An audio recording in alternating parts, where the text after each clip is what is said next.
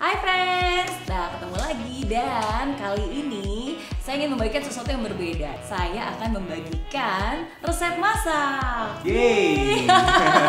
dan pastinya nggak sendiri nih, karena senang banget bisa collab dengan masak.tv dan di sebelah saya sudah ada uh, chefnya, yeah, yaitu Alvin. Yaps, Alvin. Kapal. Tapi pengen uh, cerita dulu nih, masak.tv itu uh, channel apa sih? Jadi kalau kita awal yang masa TV ada itu karena kita tuh khawatir sama teman-teman anak Indo yang pada kuliah kerja atau ngapain lah mereka di luar negeri gitu kan. Ini channelnya awalnya dibuat untuk membantu anak-anak Indonesia yang di luar negeri Bener banget. untuk bisa masak masakan Indonesia. Bener. Jadi mak- sebenarnya bukan lebih ke masakan Indonesia dulu, tapi masakan yang umum dimasak di rumah dulu. Oh, Oke. Gitu. Karena video pertama kita justru cara bikin nasi putih. Cara bikin nasi putih. Heeh, tapi bukan pakai rice Rice cooker, cooker. kita. Ada juga mungkin yang bahkan goreng telur aja juga nggak bisa. Iya, ya. itu juga video kita kedua. Ada video Cara membuat telur ceplok. cara buat telur ceplok. Nah ini jadi pas banget nih karena Hmm. memang uh, ketika aku pertama kali ke Singapura 19 tahun yang lalu di sana juga harus mandiri hidup sendiri dan harus bertahan hidup hanya dengan 10 dolar setiap minggu Oke. waktu itu. Nah Hmm. jadi memang yang namanya ngirit-ngirit dengan uh, Mary Riana itu memang deket banget lah ya hubungannya ya. Hmm. Jadi salah satu cara pengiritan waktu itu selain keliling kampus cari makan gratis, Ya. selain juga makan roti tawar yang ngumpet-ngumpet di toilet. Nah, salah satu makanan yang paling mewah waktu itu adalah masak mie instan. Paling mewah mie instan. Iya dulu. Aku kira kayak nasi lemak apa Hainan chicken rice gitu itu kan. seminggu Itu- sekali Itu, cuma bukan murah itu ya? itu seminggu sekali cuma bisa hari ini kita pengen bernostalgia jadi aku pengen uh, ngasih lihat ke kalian uh, cara masak mie instan Ya. nah tapi kali ini lebih bervariasi nih Ya, karena diajarin dengan chef Alvin juga Kita bikin yang lebih pokoknya menarik. Oke, kalau gitu kita akan uh, masak-masak dan kali ini masak mie instan ala Medina. Yeay. Pertama siapkan mie instannya ya. Mie instannya dulu. Kalau favorit aku sih aku suka yang rebus. Itu kayak rebus. Ah. Tapi kali ini mie instannya rebus kita bikin jadi mie goreng. Oh gitu. Ah, Oh bisa. Sedikit agak kita bikin twist sedikit Ah. ada berbau Jepang. Oh wow. Oh gitu berarti kita rebus mie-nya dulu. Iya. Nah, jadi tuang air. Ini ada air. Sip. Tapi emang yang namanya mie instan Indonesia itu, aduh paling enak di seluruh dunia sih menurut aku. Dibanding sama itu apa samyang apa apa gitu. Aku sih lebih suka Indonesia. Hmm, aku punya jahe ya. Jahe aku geprek aja kurang lebih segede jempol. Ntar kalau nanya jempolnya siapa? Jempolku jempol Mbak Mary. Satu setengahnya Mbak Mary pokoknya. Ternyata mie instan bisa dibikin macam-macam ya. Banget. Ini pakai wortel juga? Iya pakai wortel. Oke. Jadi harus tetap asupannya harus ada hal yang baik juga. Orang kita suka makan apa? Indomie pakai nasi putih. Oh. Karbo, karbo, karbo. Iya, Kayak iya. makan di kondangan gitu ya, nasi putih, terus pakai Bami goreng. bami goreng, terus sambal kentang, pakai perkedel pula. ya kan? Semua yang karbohidrat. Iya, semuanya karbohidrat. Cuma sebenarnya ya, Indomie itu salah satu produk yang aku suka sedih ngeliatnya. Kenapa? Karena terlihat ternyata orang Indonesia itu malesnya luar biasa. Hmm. Gitu. Bayangin, ini produk instan. Hah? Dibikin sama orang biar gampang makan Indomie rebus. Mie rebus lah. Iya. Tapi kita masih mau beli. Di Oh. abang-abang minta dibikinin. Terus dengan alasan Indomie dibikin lebih enak. Iya, kayak ada rasa-rasa Nah, beda lo- gitu ya. Dulu sih aku waktu zaman masih makan Indomie, ya, Hmm? aku sukanya ngerasa kari ayam. Oh gitu, aku sukanya ayam bawang. Karena Favorit. sekarang aku udah gak makan Indomie. Oh gitu, kenapa? Iya. Enggak, udah enggak aja. Udah enggak aja. Tapi masih makan bakmi. Masih makan mie, cuma Indomie udah enggak aja. Kenapa? Apa karena nggak sehat atau Oh gimana? enggak, bukan karena nggak sehat sebenarnya alasannya. Karena kalau udah kena sesuatu yang apa bikin trauma gitu, Mhm. jadinya kita nggak mau. Sempat lagi flu flu berat, terus tiba-tiba kayak pengen banget makan mie ayam. Hah? Dan tukang mie ayam tuh nggak ada yang lewat, sebel kan? Tapi di dalam lemari ada Indomie, kan bikin Indomie. Terus abis bikin dicium baunya langsung enak. Itu bahkan kalau datang ke supermarket supermarket itu ngeliat bungkus Indomie itu langsung enaknya parah. Oke. Sampai sekarang jadi nggak mau makan Indomie. Aku kebalik kan, aku setiap kali ngeliat kayak mie instan kayak gini selalu ingat masa lalu. Hmm. Ini pakai apa lagi nih tadi? Ada daun bawang, Daun bawang, jahe, terus sama, sama bawang bombay. bombay. Ya, akuratnya ini di mana-mana pasti ada. Iya. Dan kalau misalkan ini misalkan ada sisa, masih bisa dipakai? Oh iya. Buat isiannya bikin apa? Martabak mie? Betul. Hmm? Atau mau dibikin vegetable fritters asik bakwan Oh, bakwan Oh iya, Ya. iya. bakwan tuh enak banget. Oke, segini dulu. cukup Cukup ya. Matiin ya. Nanti Kalau biasanya dulu aku masak mie kuah, habis direbus, Hmm. terus tinggal masukin bumbu, udah bumbu dicampur, udah makan. Cuma kan katanya kurang sehat tuh. Hmm. Jadi masaknya harusnya air rebusannya dibuang dulu. ya dibuang dulu dicuci dulu Dicuci dulu terus baru kasih air baru, terus baru dituangin ke seperti itu ya. Oke, jadi ini karena kita memasak mie goreng, jadi airnya dibuang. dibuang Pagi sih bisa. Kalau eh, aku sih masaknya biasa stok sampai sini. Nah, tapi kan sekarang kita berbeda ya. Jadi ini mau diapain nih? kita kan goreng Iya. Goreng pasti goreng di panci. iya Oh gitu. Minyak secukupnya. Ingat secukupnya Sayur ini panas Hmm. Ya. kita masukin telur dulu ya kalau bikin mie goreng ataupun nasi goreng dimasukin bumbunya dulu baru telur Hmm. jadi kalau misalnya dimasukin bumbunya dulu pas kita masukin telur nanti bumbunya ada di dalam telur Oh. jadi kalau aku di prefer masukin telur Telurnya dulu.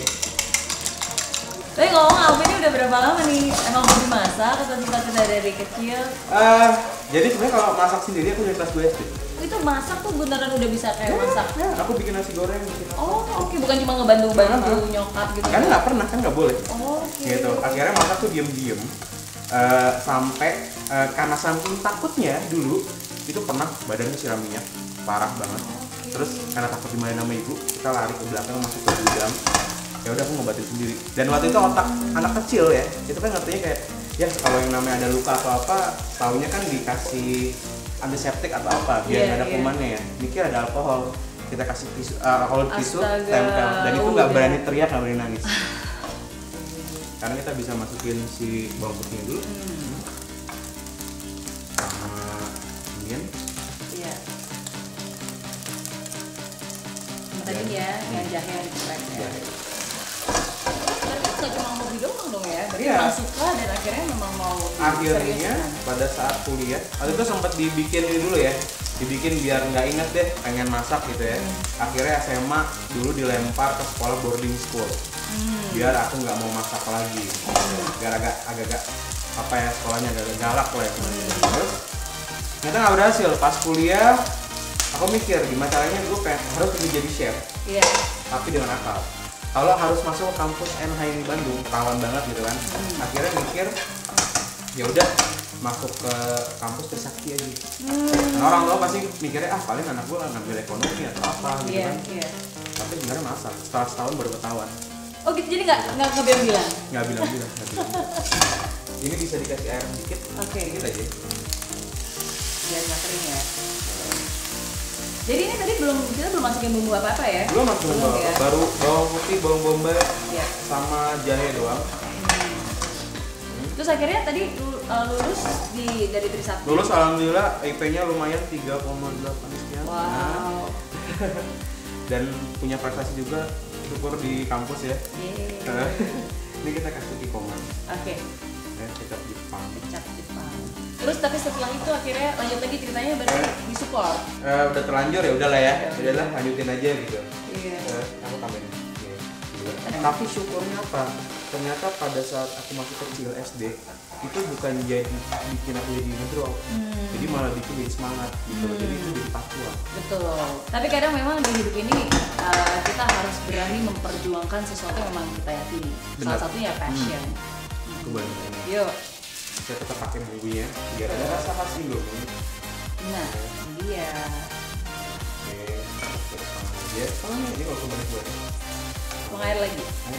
Tapi ini kira-kira ya, kalau misalnya udah kering, uh, kita bisa tuang air sendiri. Ya. Nah, ini dia. Wah, udah lengkap. Oke. Boleh ini juga Ini ya, sisanya wortel. iya wortel Biar ada warnanya juga ya. biar ada warnanya biar ada teksturnya Ini juga daun bawang. daun bawang Daun bawang. Tapi ini nggak terinspirasi dengan siapa nggak? Eh, zaman aku kecil cuma ada Rudi Nurudin, Ibu Siska Sutomo dan satu lagi bapak-bapak yang masak TPA cuma itu doang. Hmm. Iya. Tapi sebenarnya yang lebih menginspirasi adalah abang-abang tukang nasi goreng yang pada saat itu bikin saja gitu. Ya, serius. Iya. Oke. Sip. Dan Udah. jadi kita siap untuk plating. Yeay. Simple sebenarnya. Simple sebenarnya. makanya masak itu cuma butuh niat aja Sama sih. Kalau mau sukses dalam hidup juga yang paling penting utama niatnya. Iya. Mm-mm. Pokoknya asal ada niat selalu ada jalan. kita harus tetap mau belajar benar gak sih Betul. Dan nggak takut salah, fleksibel, Hmm. berani mencoba hal-hal yang baru. ya kebetulan keluarga saya keluarga ringso jadi kalau nggak kotor kita nggak belajar itu apa tuh? oh ini tuh Oh, kata katsuobushi wah ini yang bikin kayak Jepang-Jepang. Ini dari mie instan. Dari mie instan? bener banget Nah, namanya apa? Namain ya? Oh, oh. oke aku juga bingung sih aku nggak bisa ngasih nama sebenarnya. Oh gitu ya. Oke kalau gitu eh, biar mereka mereka aja yang lebih kreatif Hmm, karena bener. yang nonton YouTube tuh orangnya sangat kreatif. Jadi menurut kalian kira-kira apa nama yang cocok buat makanan ini? Harus dicoba dong berarti ya. iya harus Aku coba ya. Masih kerasa mie instan Hmm. ala Indonesianya. Hmm. Tapi ini ada variasinya. Ada Ya- variasi. Ya, kayak tadi ada unsur-unsur Jepang-Jepangnya, Iya. ya kan? Hmm. Serasa kayak lagi makan di restoran Jepang, ramen Bener. apa Bener. gitu ya. Betul. Padahal sebenarnya bikinnya gampang dan bahan-bahannya murah. Iya. Dan ini tadi juga nggak pakai daging sama sekali, Nggak. ya. Jadi dan tetap sehat karena tadi juga eh, nggak pakai micin, ya jadi bahan-bahan alami enak pokoknya. Oke, jadi semoga kalian semua jadi terinspirasi teruslah berkreasi. Nah kalau gitu pesan-pesan dong untuk mereka-mereka yang eh, pengen doyan banget makan Hmm. tapi eh, males masak. ah, jadi kalau dari aku cuma satu doang ketika bangun pagi ingat kita harus punya niat yang kuat karena masak itu butuh niat Setuju, setuju. Jadi thank you banget. Nanti aku mau ngabisin eh, makanannya. Eh, jangan lupa ya, menurut kalian ini kira-kira nama yang cocok apa, nama yang kreatif apa? Komen di bawah. ini. Dan komen di bawah, Iya. oke? Jadi jangan lupa juga untuk subscribe, like, komen. Pokoknya terus pantau kita di channel Mary Riana dan juga channel Masak Buat. Iya. Jadi thank you banget nih. Thank you, Mbak Mary. Yes, Udah sukses mau terus. Sama-sama.